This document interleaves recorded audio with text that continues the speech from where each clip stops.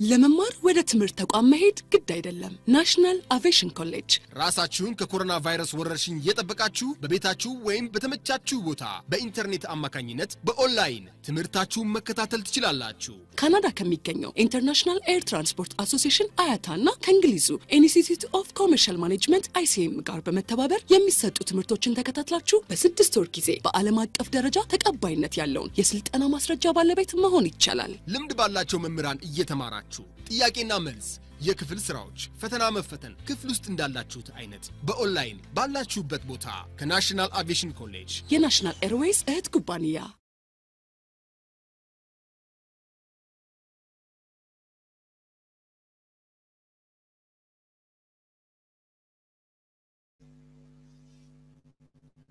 Uh, though it is a continuation of where of where we had uh, stopped last time, uh, we had looked at uh, the portfolio analysis, how to determine risk uh, return of a single project, and then of a portfolio, all right, using the the, the, the, the, the, the portfolio formula or Markowitz formula. But uh, there are other models that we can use also to determine uh, risk and return of an asset and of a portfolio. So uh, today I wanted us to go through uh, the other models uh, so that uh, we are able to evaluate projects based on the, some other variables other than the probability and uh, the expected returns. So, um,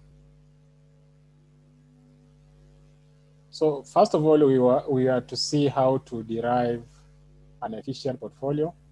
If you recall last time, we said uh, we need to come up with an optimal portfolio, uh, one that will uh, maximize returns at the minimum risk possible. All right.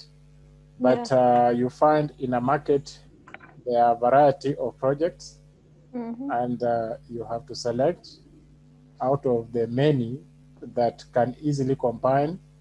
And we saw that uh, one, those ones that can give a, neg- a negative correlation coefficient. Uh, we saw how to determine that, and it measures the level of association between the the two assets or two projects that uh, we may be investing in. So uh, after doing that, we have also to to determine the efficient frontier curve because we said uh, an optimal portfolio can have up to up to 20 uh, securities or assets in it. So uh, how do we select these assets? Because we have but uh, we need to to see how many that uh, we, we can uh, actually uh, select to combine our we looked at uh, two illustrations. Uh, illustration two, we went through it, uh, I think, up to up to the end. We answered actually basically all the questions uh, led to this. Uh,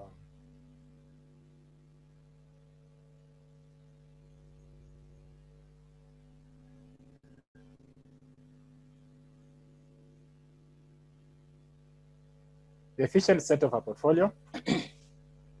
so here, depending on uh, the risk attitudes of the investors and uh, uh, the type of risk, as we saw in our last discussion, we have market risk and uh, and uh, uh, business risk. So uh, investors have different attitudes towards risk. Uh, some prefer high risk in order to obtain high returns. Of course, high risk associated with high returns. Uh, these are referred to as risk takers, uh, while others, while others, uh, Emebet, please mute your mic. Thank you. So while others um, prefer low risk in order to obtain low returns. So low risk, low returns, uh, low risk projects are always associated with low returns uh, because the risk levels are low and, uh, and there's some uh, a bit of certainty in the returns. Then the high risk projects, uh, which are uh, more risky and, and the expected returns will always be high. so the low risk takers are called uh, risk averse. However, in the market, there will be a portfolio which will offer the highest returns for a given level of risk, or one that will offer the lowest risk for a given level of return. Now, uh, depending on the attitude of the investor, so you select according to your attitude, and you find you will always be jangling between uh, the risk and return of a particular portfolio, and uh, and uh, and as we saw, uh, the preference is normally for high returns projects with low risks, and uh, and uh, and that's basically the, the, the, the, the, the concept in the finance that we use. By plotting the expected returns of a portfolio against the portfolio risk as measured by standard deviation, the following might be observed. So if you you draw, for example, um, let me just uh, try to come up with this.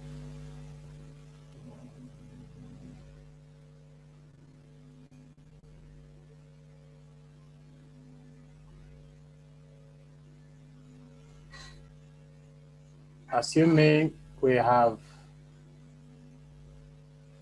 so this is a straight line anyway.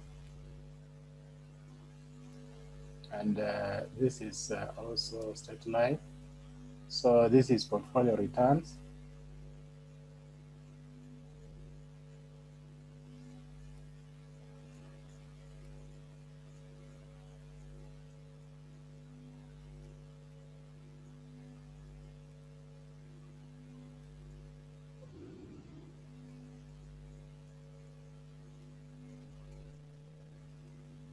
And uh, this is uh, risk, portfolio risk.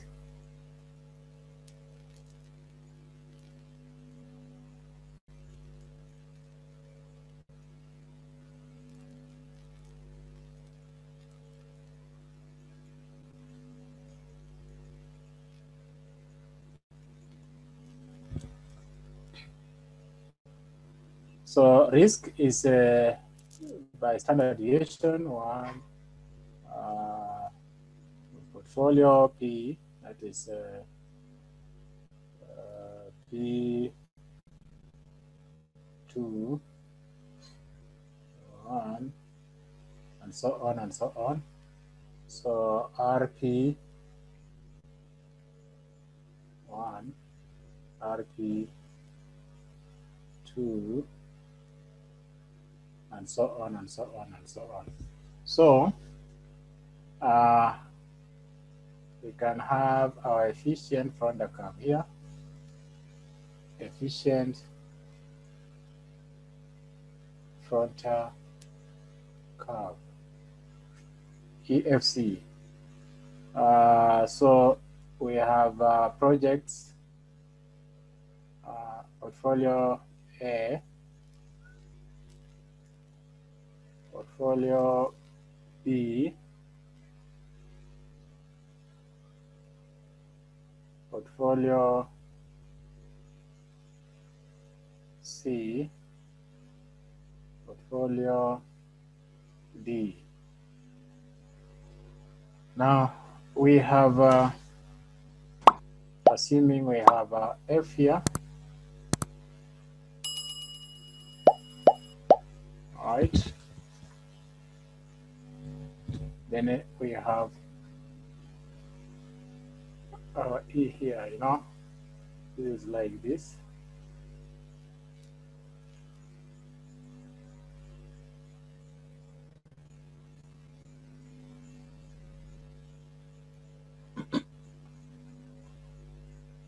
Then B, we have uh, like this.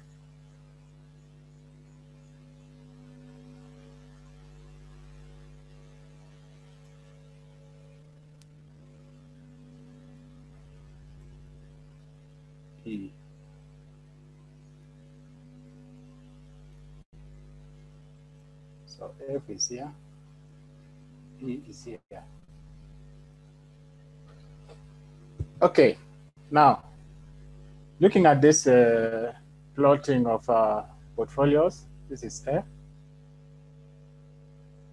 Portfolio A, B, C, D. Now, if you are to, to select between A and F, which one would you go for? If you are to select between portfolio A and portfolio F, which one would you go for? Melat, which one would you select?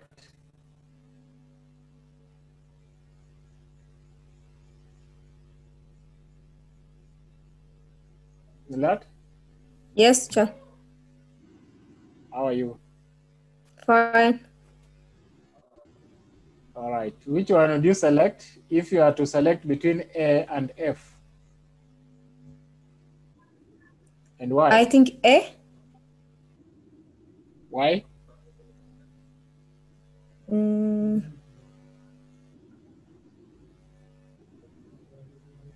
Why A and not F?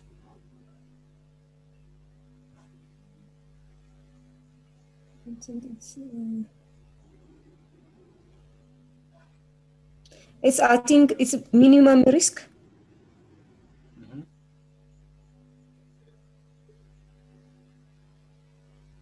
Because of minimum risk. Because of minimum risk. And how about return? Mm, the same as uh, risk. No, okay. Or It is high risk. because High A- eh, return. Yeah. It's high return. A has high return and minimum risk. and F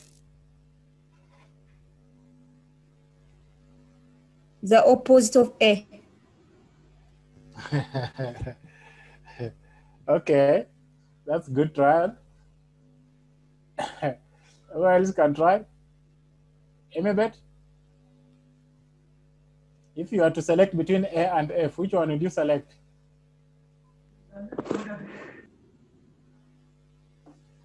Between A and F, which one would you select?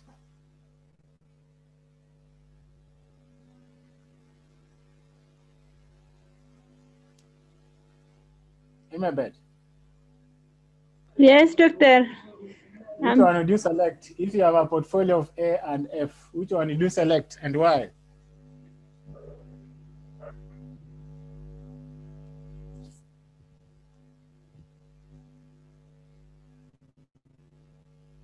No idea?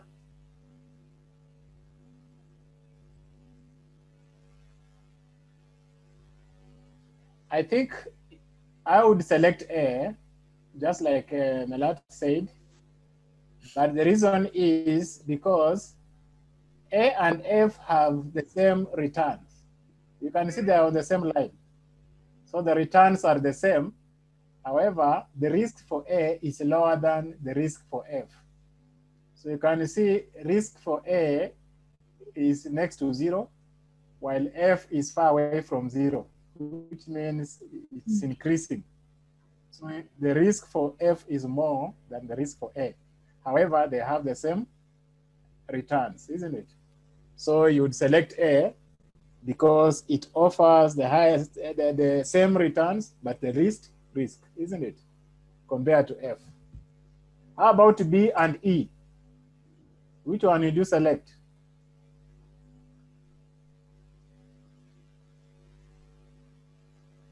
B and E. B and E.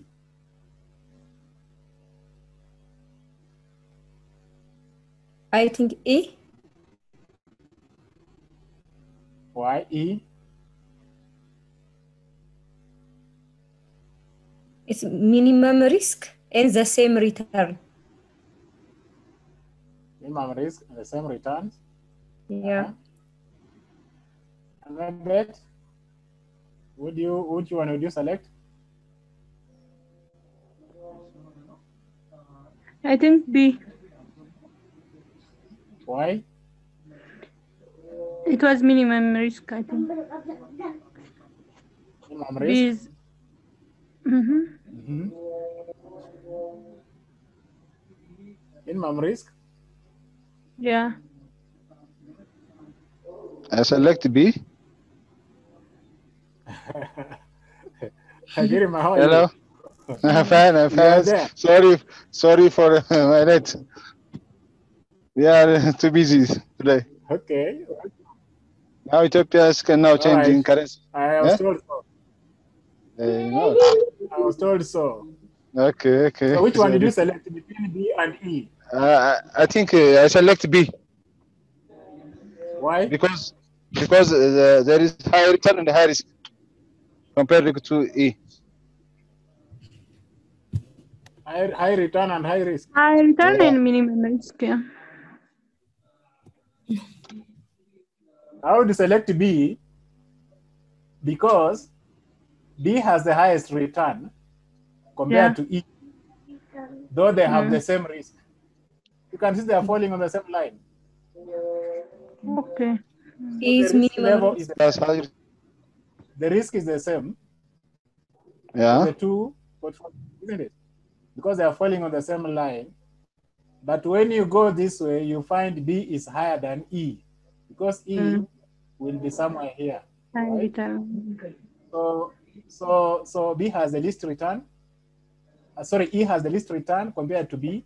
B has a higher Mhm. return. That's why it's being, uh, uh, you know, uh, located here, uh, where the return and and risk meet. That's when you, you plot them. So you find that uh, uh, they have the same risk levels, but uh, B has the highest return. So you select B. Okay. So you find that uh, portfolios that uh, there's a line joining these portfolios. All right. Now you'll find A, B, C, D are falling along this line. So this is the line we are calling the efficient frontier curve. The efficient frontier curve. All right. So you select, if you are to select portfolios, then you would select portfolios that lie along this line or they fall above this line, assuming uh, J is here, then J would qualify because it's above the efficient frontier curve. And the projects that are falling below, all right, portfolio that are falling below the, the efficient frontier curve, these ones are inferior. They don't qualify. They are inferior because you can see their risk levels are higher compared to these ones that are falling above. Because if you are falling above this line, it means your risk levels are reducing and your returns are increasing. Okay? So this is the cutoff point. The line indicates to you the cutoff point of projects that you need to select.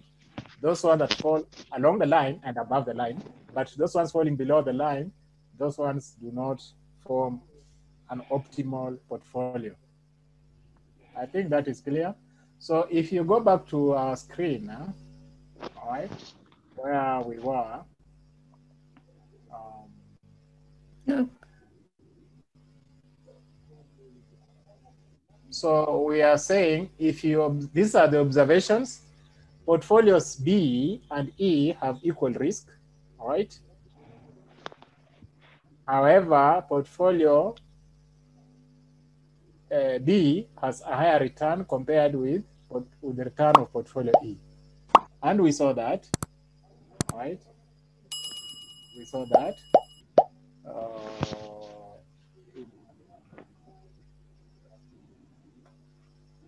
B and E, B has higher returns but same risk compared to E, and E has lower risk, so lower returns. So that means uh, uh, it is uh, uh, B qualifies. All right. Then we also have portfolio A and F have equal returns. However, portfolio A has a lower risk than portfolio F. So we take portfolio A. So portfolio A, B, C, and D are either offering the highest returns at a given level of risk or lowest risk at a given level of return. These portfolios combined together form the efficient set. So the efficient set of portfolios uh, are found along the efficient frontal curve. These portfolios are joined together by a concave line called the efficient frontal curve.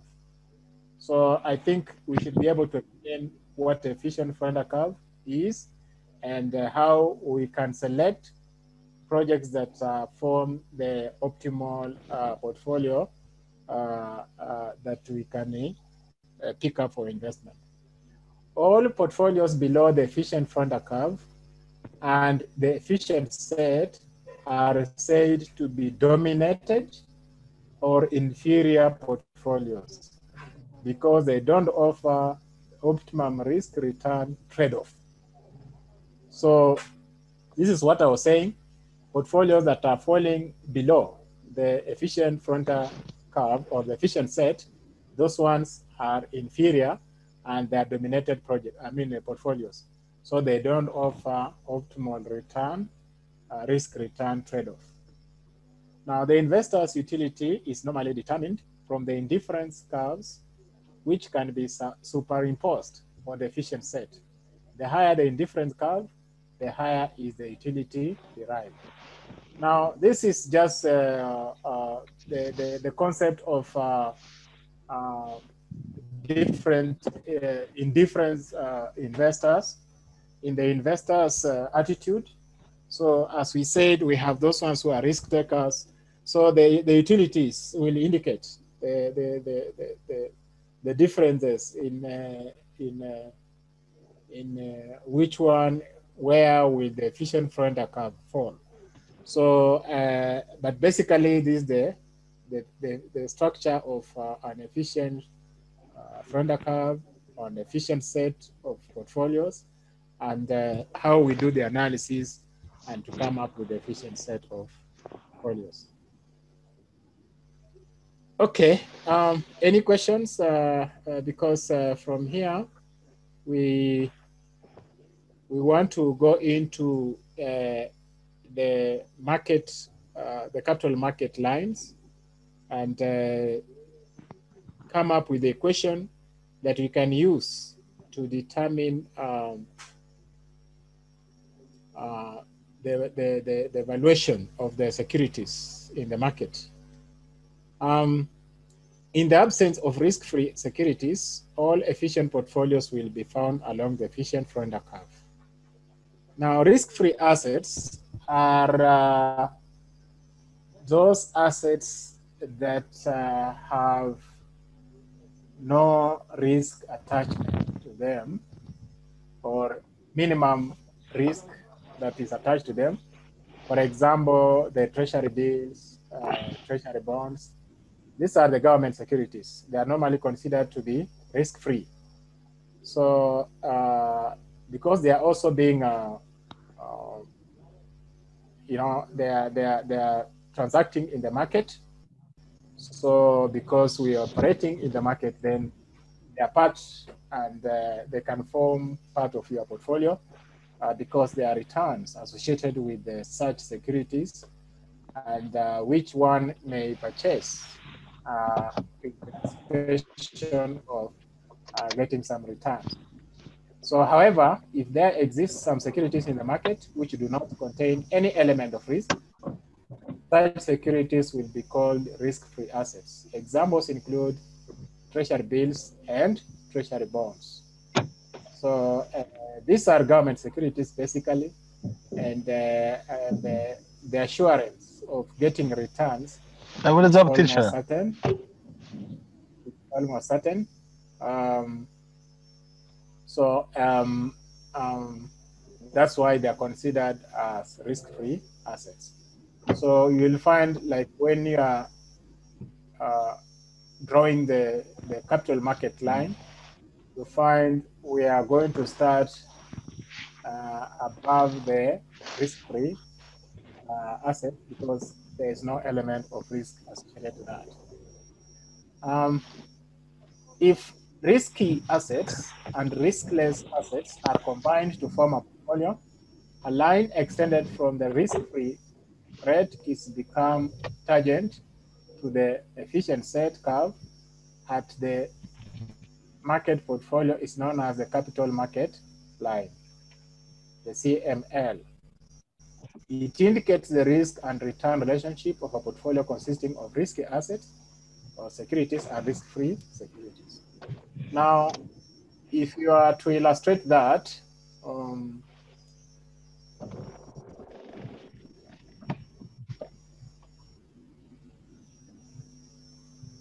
if you are to illustrate that, uh,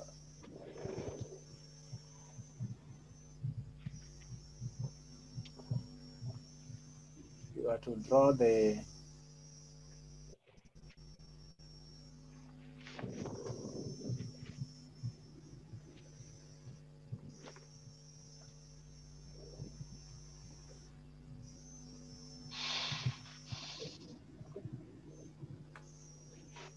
So uh, this is the expected return. So RM is the expected return of the market. All right. And then uh, this is the, the market risk.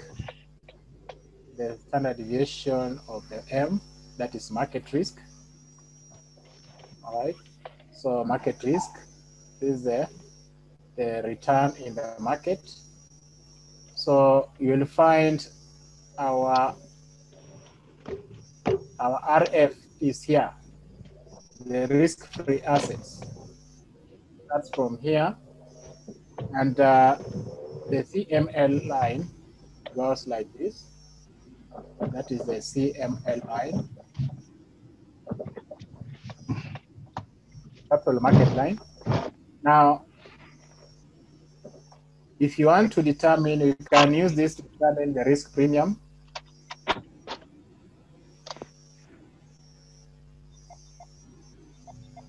So this area here is the risk premium.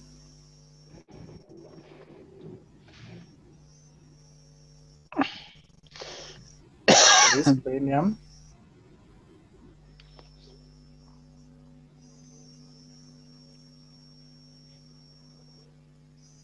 which is given as expected return in the market uh, minus return of the risk-free asset. Okay, so this is the risk premium. Uh, for this zero, starting from zero. So the risk premium is here. So you'll find this area because of the return. That's why we are starting at this point. It has some returns, but no risk. So it's normally uh, located along the, the y-axis, but not from zero above zero, because this now the the return and at F, the return is this level, but the risk is zero. You can see the risk is zero, but the return has some, this, this is a point of return. all right? This is the level of return from zero to here, that's our returns. But now the risk is zero because it's on the y-axis. So this is the CML line. We can find this line uh, using an equation, all right? And further on, we'll see the importance of that line uh, in uh, trying to explain the capital market, uh, the CAPM model. Okay, now it indicates the risk and return relationship of and risk-free. Um, now, we are assuming that this risk-free security, we have other securities along this, all right? This, this is our initial efficient frontier. But because we have a risk-free uh, element or project or security within our portfolio, then we call this one capital market line, all right? The capital market line.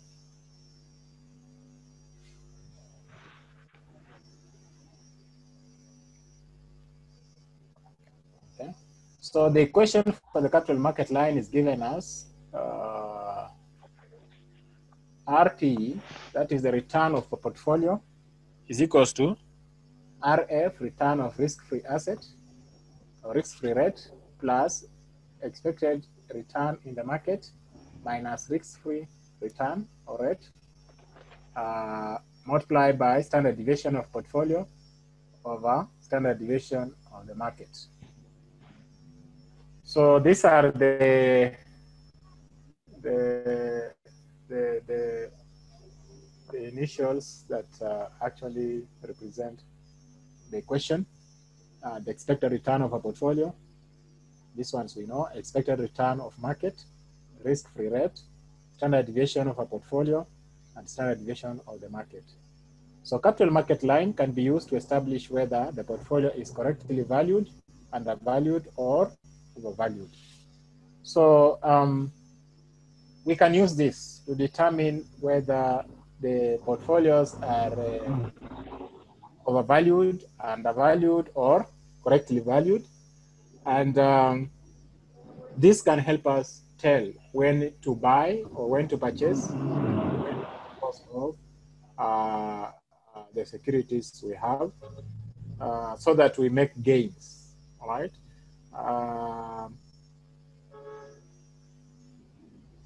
So when when we when we buy when they are uh, the, the securities are uh, valued in the market or undervalued in the market and when do we dispose of?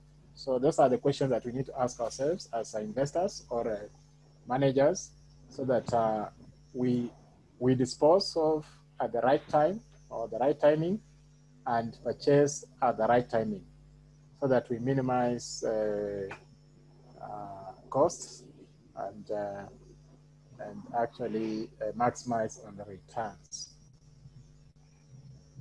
Now, whenever a portfolio falls above the CML, all right, then it's undervalued. So please note this, if the portfolio falls above the market line, then it's undervalued. If it falls along the capital market line, it is correctly valued. Right. And if it falls below the capital market line, then it is uh, overvalued. Okay. So below is overvaluation, above is uh, undervaluation. And uh, we're talking about the capital market line. So there is this illustration here. We can use this to, to show how to, to interpret this and tell whether it's undervaluation or overvaluation.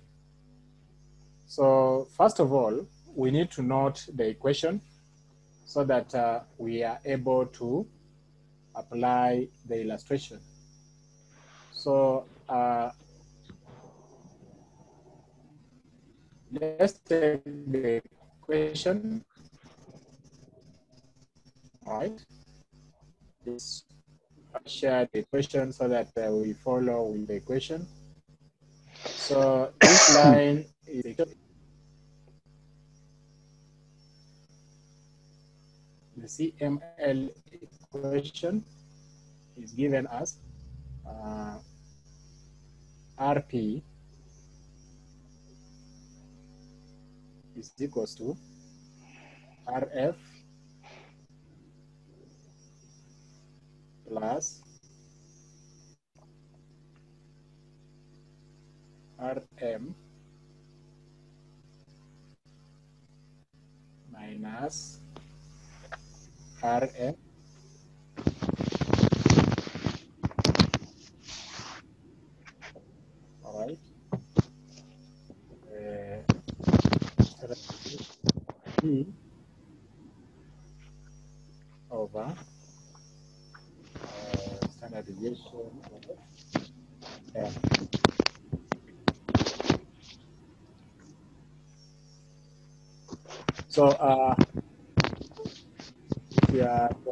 so we'll have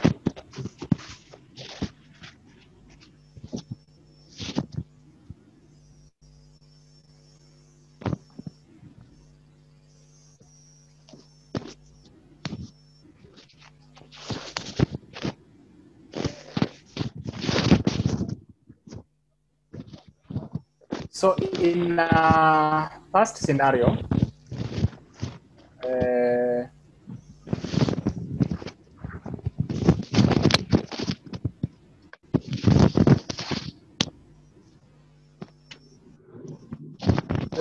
first illustration.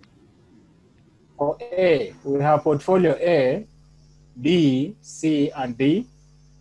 Now for A, our expected return is 15% and uh, the standard deviation is 5. So 15% standard deviation is 5. Okay.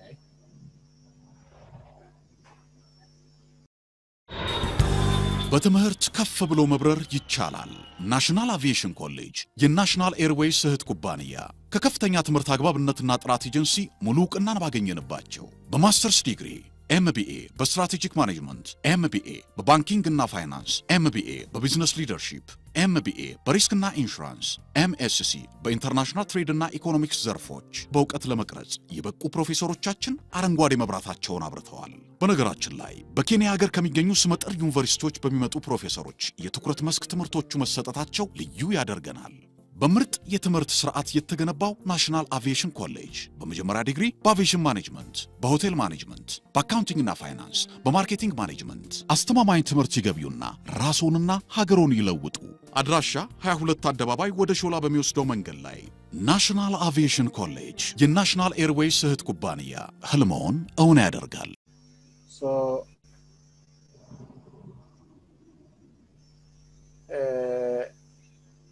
expected return is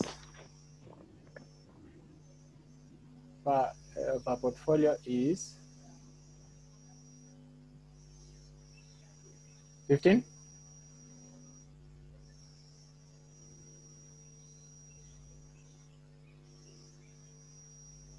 and uh, the standard deviation of the portfolio equals to 5 that is A, portfolio A. Are we together? Yes. Yes. Okay. So this these figures, I'm just getting them from uh, Table. our illustration. Yes. So you can see for A, we have 15 and the standard deviation is Five. 5. So I want to use this to determine uh, the equation, the equation line, the CML line, all right, uh, which we have been given the formula as this one. So for for portfolio A, for portfolio A, uh, CML, the CML is equals to uh, RP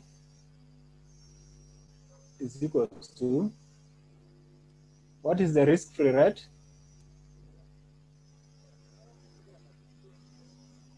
According to our illustration, have we been given the risk-free rate? If the market return is 10%, all right, market return is 10%, So that applies to all. And uh, the market uh, standard deviation is 4%. The market standard deviation is 4%. And the risk-free rate is 6%.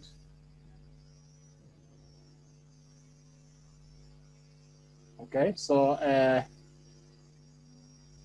uh, RF, and then uh, we have uh, the standard deviation of the market.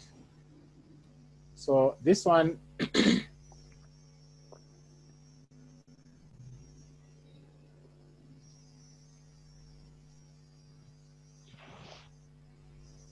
so we are also told that uh, uh, RF is equals to 6%. Uh, expected return in the market, RM, we are told is 10%.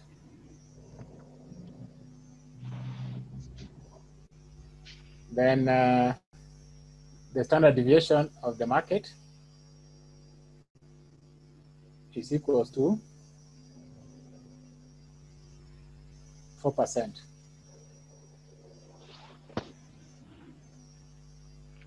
So those ones we are given.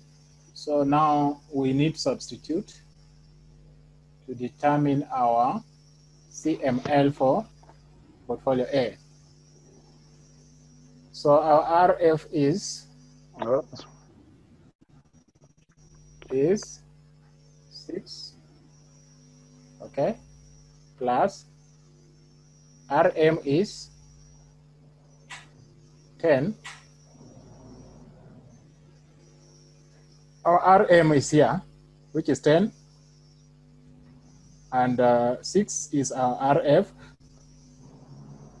I'm just following this.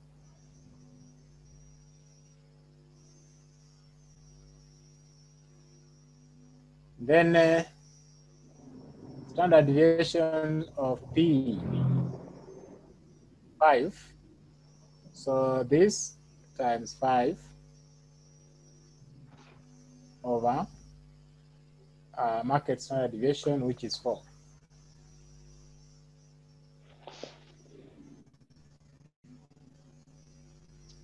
So what will this one give us? What is the return of the portfolio for A? Can you work it out and give me the answer?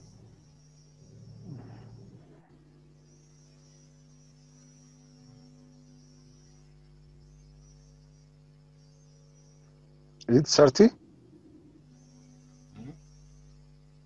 30. 30, yeah. 30? I think so. 4. 4 times 6, 24. 4 times 5, multiply. Who else has a different answer? Ah. So this-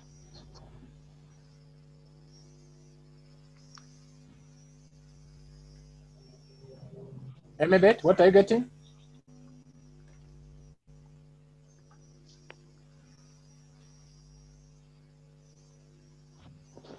Emebet? I'm trying to do it, doctor. This is a second, you are done. So, uh, Girima, you said you got 30%. Yes.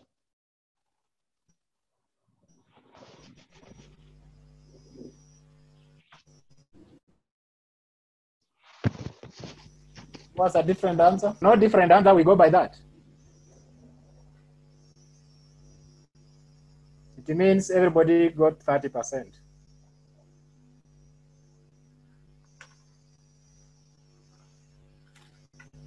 Let me see.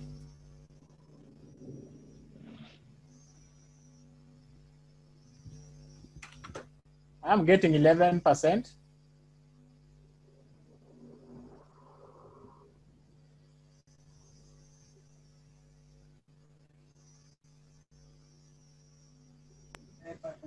11%. Huh? How could it be? Uh, How could it be? How could it be? Okay. Uh, you remember BODMAS? Body mass, okay. We have left there four. Four, yes. Bracket so, of? Of what? Yes bracket 2, 4. Uh. Is it plus or uh, times? 6. Times. Times, okay, bracket. 4 times. 6 times. Or, huh? Okay. Is it plus? Okay, plus. It's not. It's not thirty times. We have taken the six times. Is it plus or times? Uh, this, this is plus. Yes, it is. Um, I plus. think it is plus. Okay, I make yes. mistakes here. We are making uh, multiplication. Yeah, but, but the question, um, I'm just upset. Yeah. Yes. So it's okay. Now it's 11. It's 11. Okay. You agree?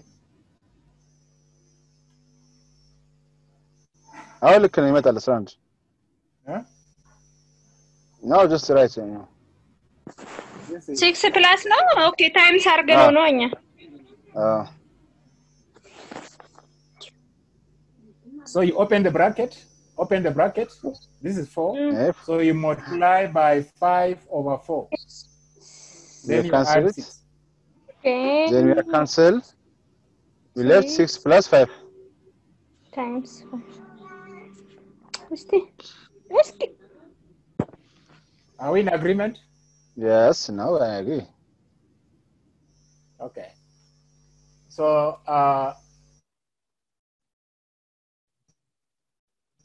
are we is there is there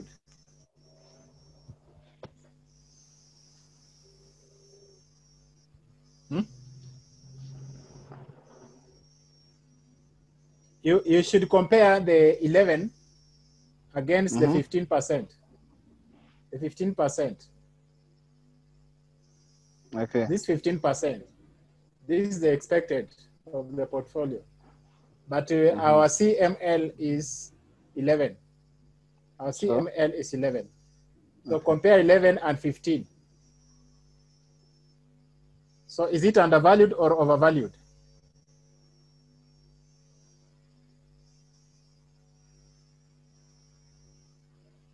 undervalued Undervalued, isn't it? Why? because below the expected return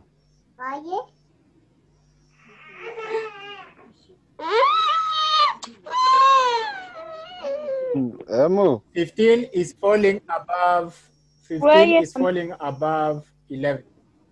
yeah 15 is falling above the CML line. And we said uh, portfolios that are falling above the CML line, they are undervalued portfolios. Those ones that are falling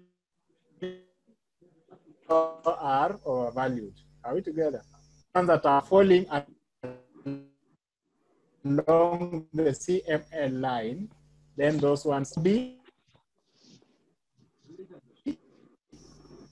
and uh, tell me whether undervalued or overvalued.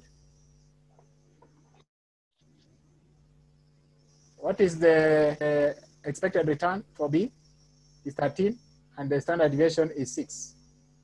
So it's 13 and 6.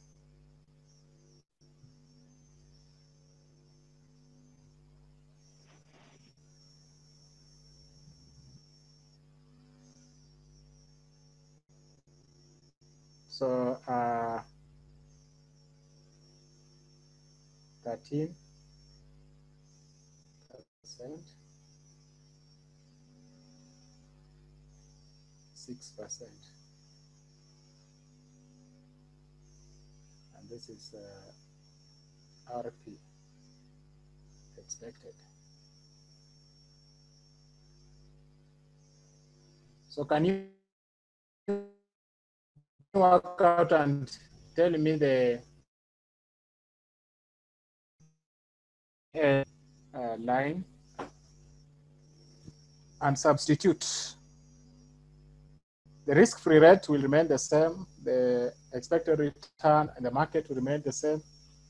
The standard deviation of the market will remain the same. So can you substitute and give me the, the answer?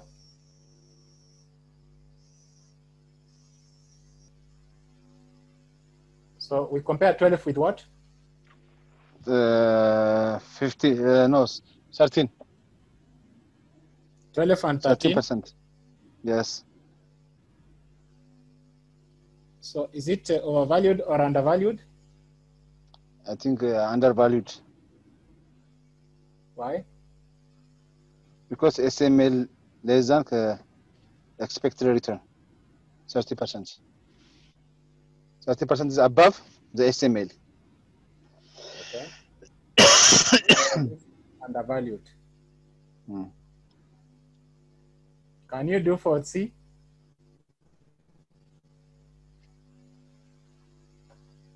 For C?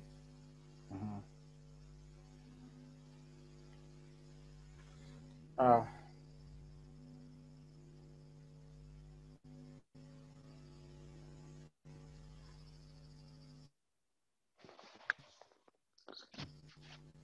uh,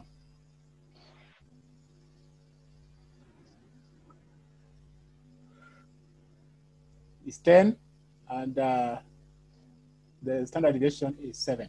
10 and 7.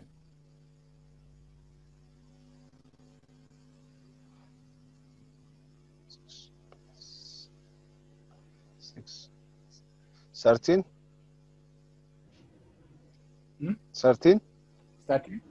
Mm, 13? yes. Which is 13 against, overvalued. 10. Against 10. Yeah. Here is overvalued. This is overvalued. Yes.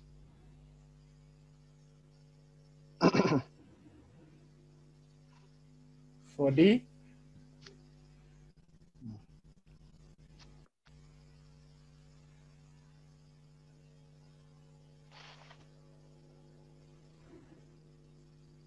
for D, D. Yes. back to the question, the illustration? Okay.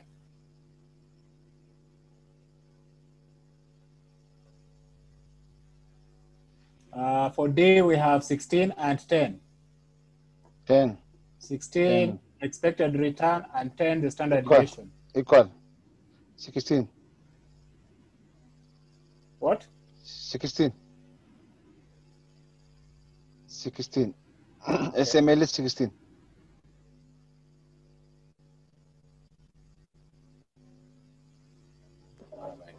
One six.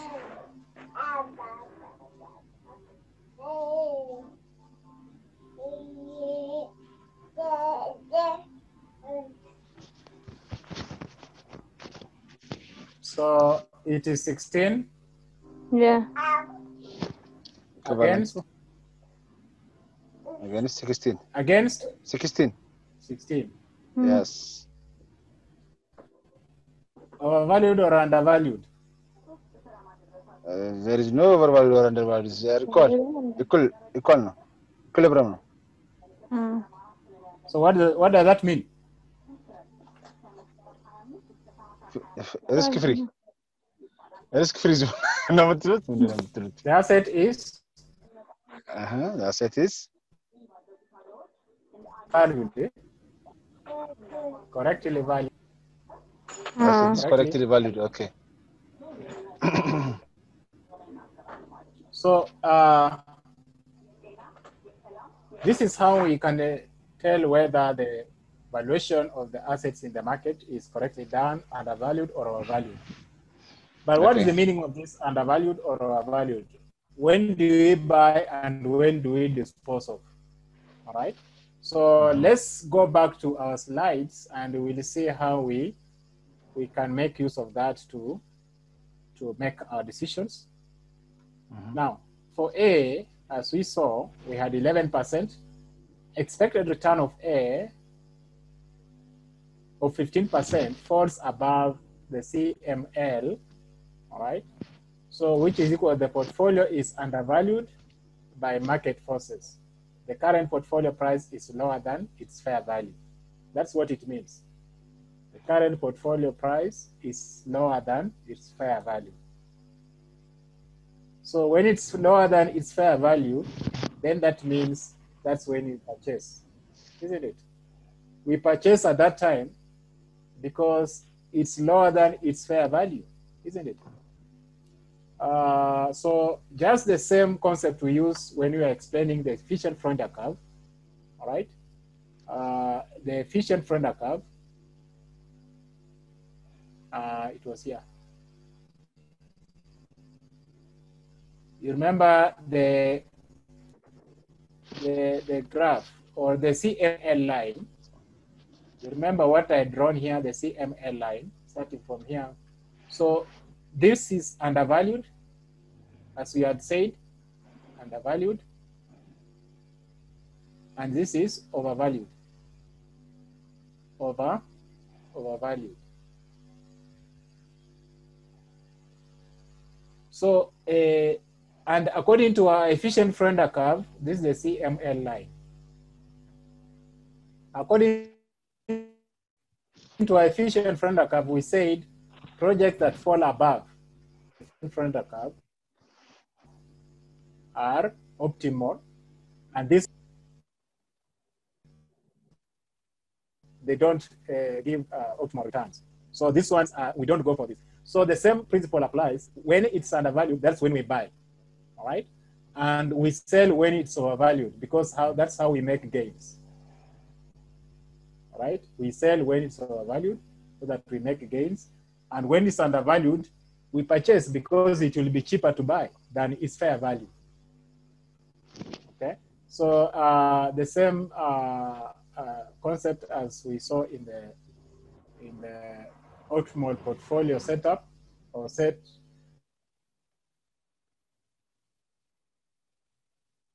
is the same principle that applies here, ML line and the valuation of the assets.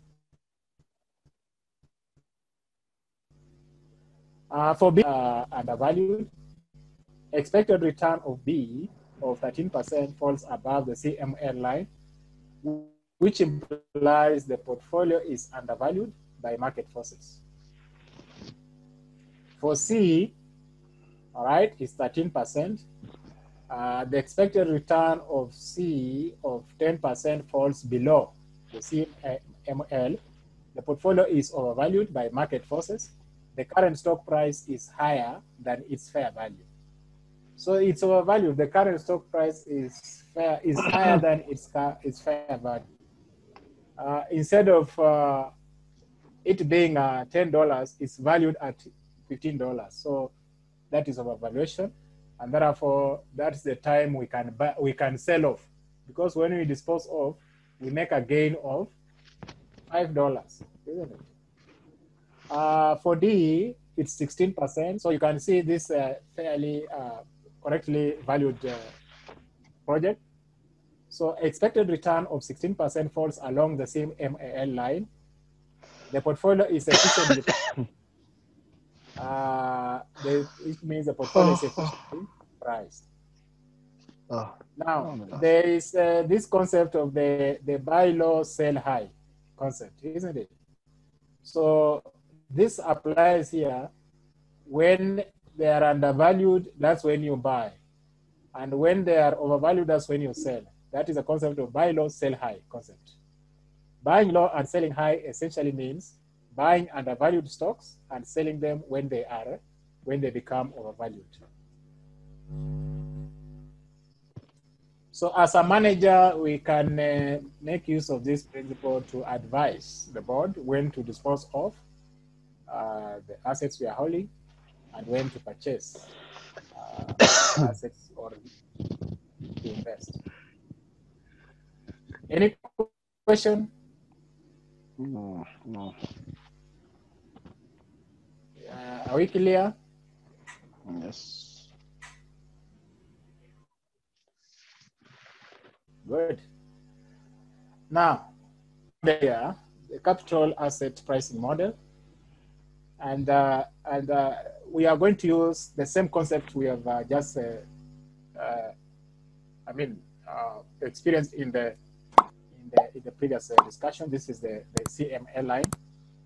Um, the CAPM allows analysts to split the total risk of security into two proportions, uh, namely diversifiable and market risk. Uh, remember in uh, last discussion we saw the types of risks. We had uh, diversifiable risk and non-diversifiable risk, or business risk and market risk. So uh, it provides a framework for measuring a systematic risk of an individual security and relating it to the systematic risk of a well-diversified portfolio. Okay, so we have to bring in the element of the market risk, all right, and uh, uh, which is a systematic risk. Market risk is the same as systematic risk.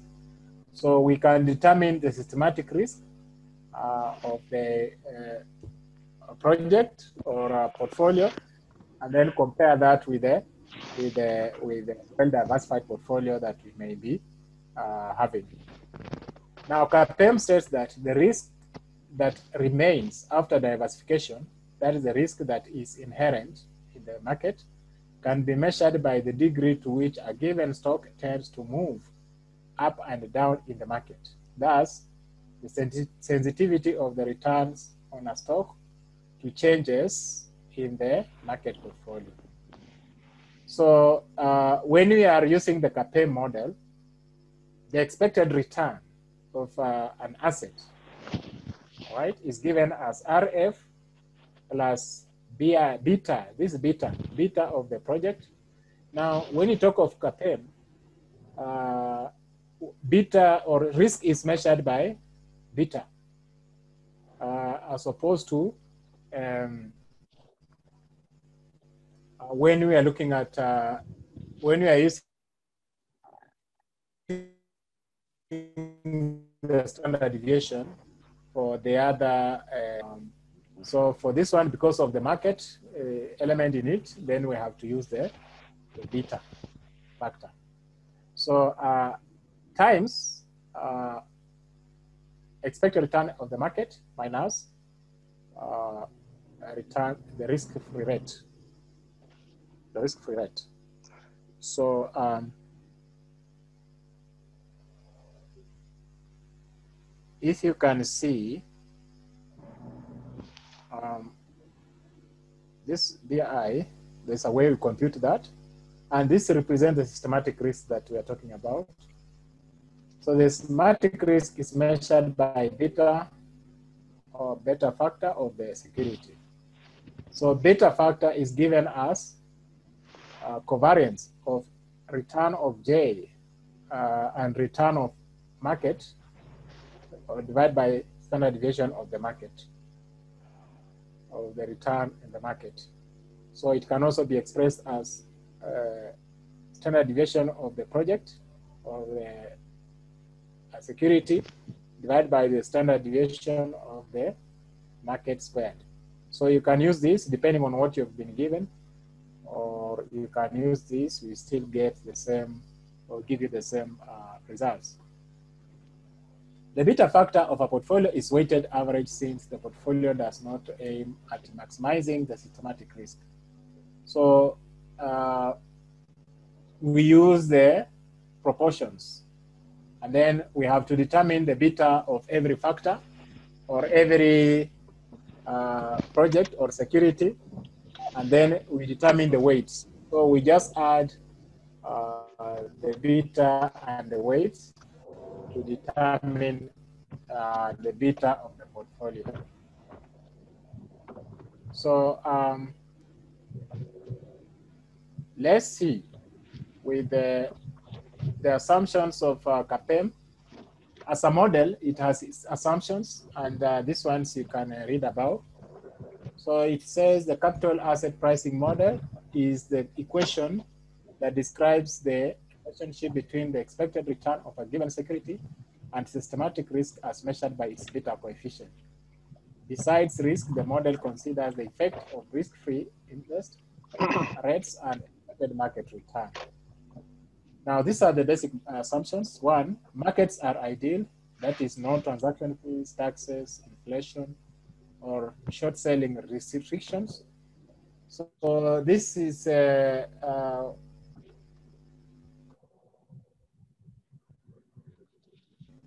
one of the assumptions saying that uh, uh, there are no transaction costs in the market. Uh, things like uh, taxes are not there. There is uh, freedom of uh, exit and entry. So there are no restrictions in the market.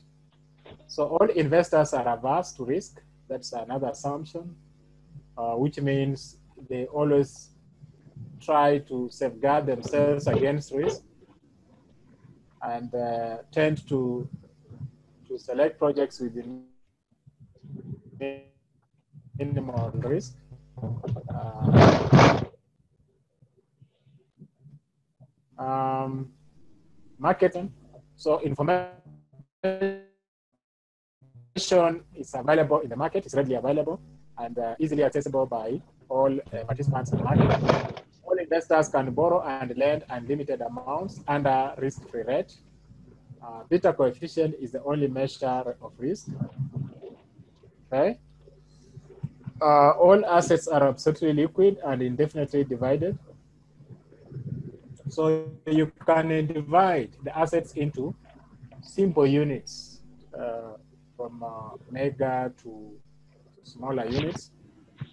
Uh, and then dispose them of installments. Uh, all assets are absolutely liquid and indefinitely divided. The amount of available assets is fixed during a given period of time. Markets are in equilibrium. All investors are price takers, not price makers. Return of all available assets is subject to not also uh, subjected to criticism by other modelists. So, uh, but for it to work, then these assumptions have to hold. Then we have the security market line. This is another uh, line that uh, we are also going to look at. But there's no much difference, only that this one is the trade-off between the market risk and the return in a well-diversified portfolio. Uh, this is similar to the capital market line, except in the following ways, how they differ. The capital market line deals with efficient portfolios, while security market line deals with the individual securities. So the other one deals with the portfolios, and this one deals with the individual securities. The capital market line deals with total risk as measured by standard deviation. All right. Whereas security market line deals with the systematic risk as measured by beta. As measured by. So uh, when you talk about CAPM, basically it is the security market line we are talking about uh, because uh, we're using beta to determine the risk uh, of an individual security. So this is an SMA line. It also starting with the RF at the top, not at the point of zero, but there is a risk which is zero. So it's along the y-axis, all right? And then the risk is just like uh, what I had shown for CML, but this one, instead of uh, uh, standard deviation, we use the beta, okay? So beta is representing the risk in, in that particular uh, individual asset. So the equation for SML is given as RJ is equals to, we are talking about individual portfolio, individual assets, not portfolio.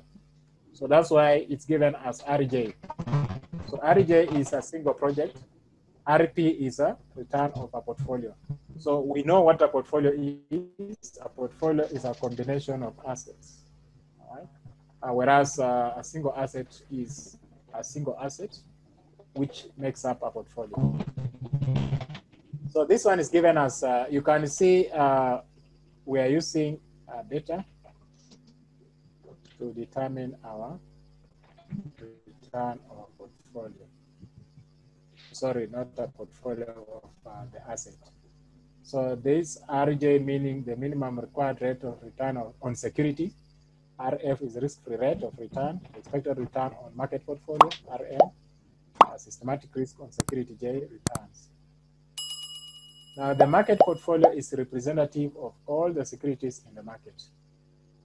All right, that is the market portfolio. Uh, the market portfolio beta is equal to one. So uh, the market portfolio beta is equal to one, meaning all securities in the market are represented by the market security. So it cannot go beyond one? You can get zero point that, but not one, more than one or two. It can't be more than one.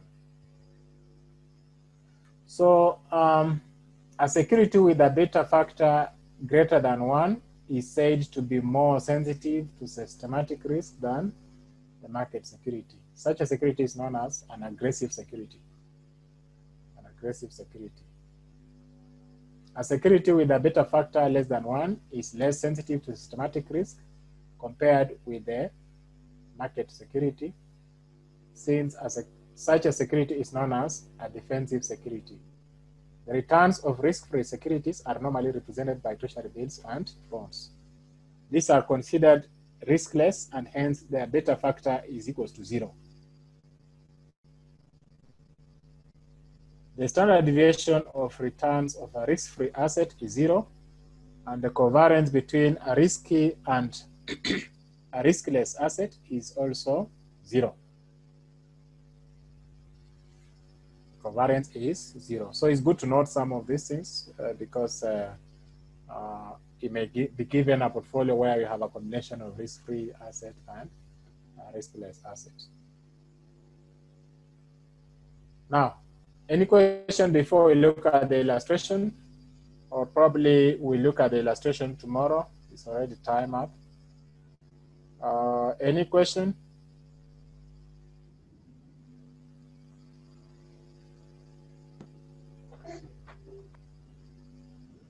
Question, Emebet? Yes? No, no, doctor. Okay. Now, uh, are you there? I think you lost. He's left, huh? Yeah. Okay. So I think uh, uh, I can see you are the only one left Yeah. because of time. So I think uh, we can stop there for today. And uh, tomorrow we'll pick up from there with the illustration. Okay. and then uh, we'll agree about the assignment two. And uh, Okay. I'd also indicated that presentations will be starting uh, next week. Mhm. So uh, people are supposed to present, please. Uh, Yeah. All of you be ready. I hope you are ready to start your presentation. So we'll be presenting. Uh, we may take the, the, the just one week or two to do the presentation. is Friday or sun Saturday? Huh? Friday or Saturday? Friday, Friday and Saturday. Okay. Yeah, The presentation. yes, Friday and Saturday. Okay, you can. Yeah. Okay. Okay, okay. So, uh, so, so uh, I think with that we can stop there. They'll uh, uh, look forward to meeting again uh, tomorrow to continue from where we stopped. But we'll just go through the illustration just to see how we need to apply some of these equations that we are talking about. Okay. Okay. Otherwise, uh, thanks for turning up and uh, see you tomorrow uh, at the same time. Good night. Okay. Thank you. Good night. night. ልዩነት መፍጠር ዓላማችን ነው። ዓለም አቀፍ ተወዳዳሪ መሆን አለባችሁ። የናሽናል ኤርዌይስ እህት ኩባንያ ናሽናል አቪዬሽን ኮሌጅ ጥራትና ደረጃውን የጠበቀ ስልጠና በመስጠት ብቁ ዜጋ እያፈራን ነው። በፍላይት ኦፕሬሽን፣ በበረራ መስተንግዶ፣ በቲኬቲንግና ሪዘርቬሽን፣ በሆቴልና ቱሪዝም ሙያዎች አሰልጥነን ተወዳዳሪ እናደርጎታለን። ኮሌጃችን ካናዳ ከሚገኘው ኢንተርናሽናል ኤር ትራንስፖርት አሶሲዬሽን አያታና ከእንግሊዙ አይሲኤም ጋር በመተባበር ዓለም አቀፍ እውቅና ያለው ስልጠና እየሰጠ ይገኛል። በፍላይት ኦፕሬሽን፣ በበረራ መስተንግዶ የምንሰጣቸው ስልጠና ከኢትዮጵያ ሲቪል አቪዬሽን ባለስልጣን ሙሉ እውቅና አለው። አድራሻ ከጎላጉል ታወር 22 አደባባይ ወደ ሾላ በሚወስደው መንገድ ላይ የናሽናል ኤርዌይስ እህት ኩባንያ ናሽናል አቪዬሽን ኮሌጅ ህልሞን እውን ያደርጋል።